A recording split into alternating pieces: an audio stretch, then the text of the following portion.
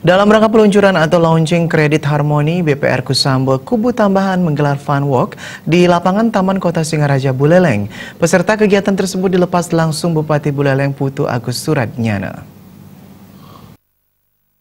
Eh, Pelaksanaan jalan sehat ini bertujuan menjadi wahana simakrama sekaligus momen peluncuran atau launching produk kredit Harmoni Plus BPR Nusamba Kubu Tambahan. Kredit Harmoni diakini memberikan manfaat yang lebih. Nasabah produk kredit tersebut tidak hanya memperoleh modal, tetapi juga berkesempatan meraih hadiah-hadiah menarik. Produk kredit Harmoni Plus ini memiliki keunggulan, yaitu prosesnya cepat serta biaya administrasinya dan bunganya ringan. Peserta fun walk tersebut dilepas langsung Bupati Buleleng Putu Agus Ratnyada. Pesertanya adalah ribuan anggota masyarakat yang hadir pada Car Free Day.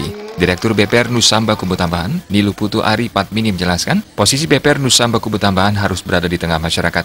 Hal tersebut sesuai rencana bisnis bank tahun 2019 untuk meluncurkan sebuah produk yang memiliki hadiah mobil, yakni kredit Harmony Plus. Selain itu, pihaknya akan melakukan pengundian hadiah dari produk tabungan Harmony Plus yang akan diundi berbarengan setiap tahunnya. Kepala Cabang BPR Harmoni saat ini kalau dibandingkan dengan kredit yang lain itu kan karena hadiahnya, ada hadiahnya, eh, hadiahnya mobil Ayla itu memang nanti akan diperbutkan setiap tahun di satu wilayah.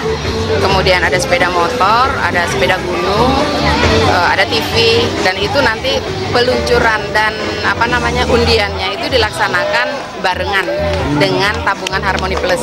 Jadi kalau sebelumnya kami hanya mengundi untuk tabungan Harmoni Plus, nah nanti ke depannya kredit Harmoni dan tabungan Harmoni Plus akan kami satukan. Jadi, jadi yang beruntung yang mendapatkan harapan kami dengan begitu kerjasama dari masyarakat tentu aja kami tetap kami harapkan.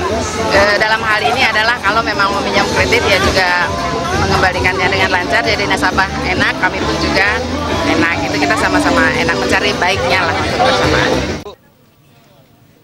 Kegiatan BPR Nusamba Tambahan tersebut diapresiasi Bupati Buleleng dan Perbarindo Bali. Di tengah persaingan bisnis dan perbankan yang ketat, BPR Nusamba hadir dengan berbagai program dan inovasi terbaru. Hal ini dinilai memberikan dampak positif bagi masyarakat.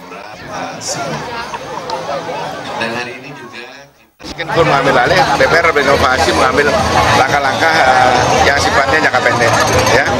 Untuk bagaimana ke depan BPR uh, bisa tumbuh. Uh, kalau kecukupan dana, saya rasa karena Perbarin sudah membuat uh, kerjasama antar BPR, mereka sudah cukup.